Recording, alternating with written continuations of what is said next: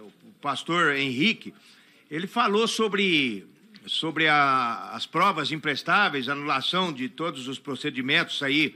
Isso já vem desde 2020, tanto que tornou o Lula elegível né, novamente, é uma pessoa condenada aí por corrupção em, em várias instâncias. Eu, eu claro, não, não sou nenhum idiota, eu não sou jurista, mas eu acompanho que realmente as provas foram anuladas, os, os processos foram anulados coisa que eu não concordo de jeito nenhum, acho uma vergonha por parte do Judiciário, por parte do STF, não concordo de forma nenhuma, mas tanto que né, ele, ele está é, é, elegível e, e, e foi eleito. Mas eu tenho a concepção comigo, isso aí ninguém vai tirar de mim, nem Polícia Federal, nem Dino, nem praga nenhuma dos infernos.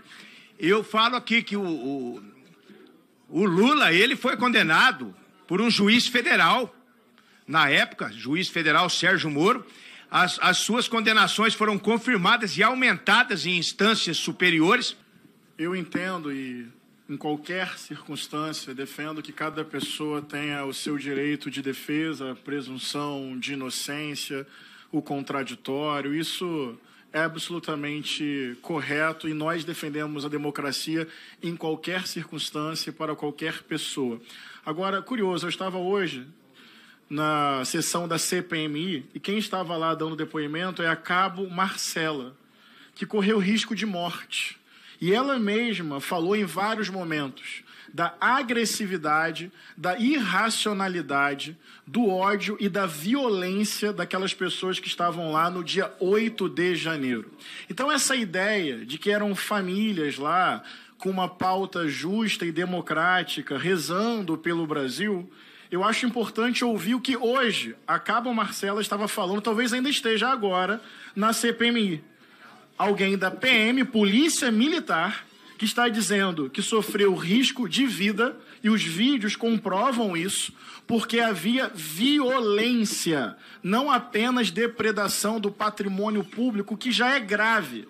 Havia irracionalidade, ódio, agressividade e violência contra, por exemplo, profissionais das forças de segurança. O que houve dia 8 de janeiro não pode ser minimizado ou romantizado.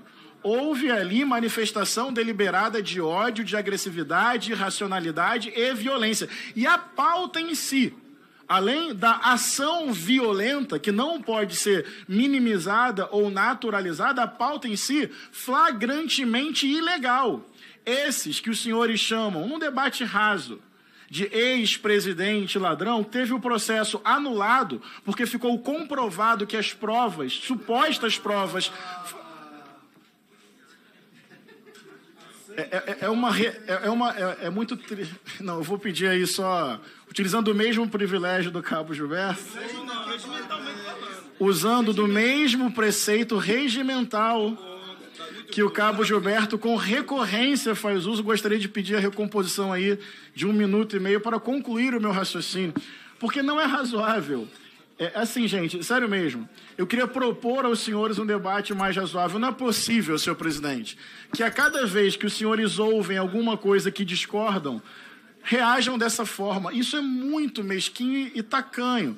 E às vezes fica caricato. Então, assim, o ex-presidente ladrão, como os senhores dizem, a prova contra ele foi anulada por causa de vício e corrupção no processo. Eu vou pedir de verdade respeito a isso. Senhores. Só que esse indivíduo é o único na história três vezes eleito pelo povo por maioria de votos. Ele é o presidente da República e, ganhou e ganhou do candidato de vossas excelências. Teve bastante voto, reconheço que a extrema direita tem força na sociedade. Não acho que todo eleitor de Bolsonaro, de verdade, representa a mentalidade dos senhores dessa comissão. Aliás, tem vários deputados pró-Bolsonaro com os quais é possível um nível de diálogo com algum grau de razoabilidade reconheço isso.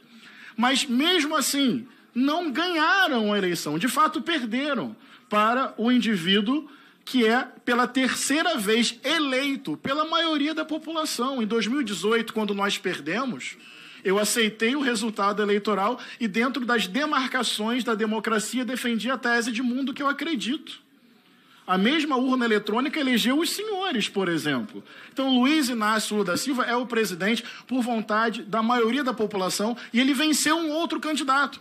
Aliás, o único presidente que no período da nova república não conseguiu se reeleger. Queria, inclusive, dizer isso. Bolsonaro conseguiu uma anomalia. Todo 30 segundos. Para concluir, Todo... deputado. Obrigado, senhor Henrique. presidente. Mas é importante que os senhores ouçam. Desde a nova República, Constituição de 88, todo presidente conseguiu se reeleger, menos um. Bolsonaro e perdeu para Luiz Inácio Lula da Silva. Presidente, retomando um assunto no qual até fui citado, sobre vários aspectos, inclusive do aspecto jurídico, é absolutamente equivocado falar que o presidente Lula foi condenado. Porque pensa comigo, se no processo de investigação, Ministério Público e o juiz, se há a prova de que houve ali desvio, parcialidade, combinação de ações, conluio, bem, não é uma questão técnica. O direito de defesa de uma pessoa, qualquer que seja, está absolutamente prejudicado.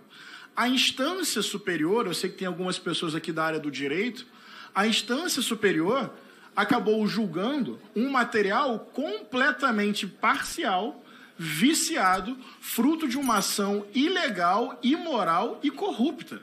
Então, a instância superior julgou com base em erros profundos. E aqui é importante dizer o nome. O então juiz federal Sérgio Moro, ao que tudo demonstra, agiu com parcialidade. Isso não é tecnicismo, isso é injustiça contra um direito fundamental de qualquer pessoa de se defender. Imagina, quem propõe a denúncia e quem julga articulando nos bastidores. Isso não é técnica, isso é falta completa de justiça. Aí depois que Lula foi injustamente preso. Isso está provado. Ele não pôde se candidatar. E só por isso, ao que tudo indica, Bolsonaro conseguiu se eleger. 2022 provou que de Lula ele não consegue ganhar no voto. Bem, o juiz que fez esse conluio tornou-se ministro do então candidato eleito. Se isso não é corrupção do ponto de vista formal, mas é muito imoral, é muito antiético. Fica evidente que havia ali um projeto seletivo, absolutamente equivocado. E depois ainda saiu do governo dizendo que Bolsonaro interferia na autonomia da Polícia Federal. Depois se juntaram para o momento final que foi perder para Lula quando ele estava já inocentado, elegível e eleito. Então, essa é a verdade dos fatos. Ninguém aqui gostaria de, num processo de investigação, ter o promotor e o juiz combinando contra si. Porque isso é ilegal e imoral. E acho que daqui a pouquinho o Moro terá a devida responsabilização nisso. Passou o tempo, nada como um dia de cada vez.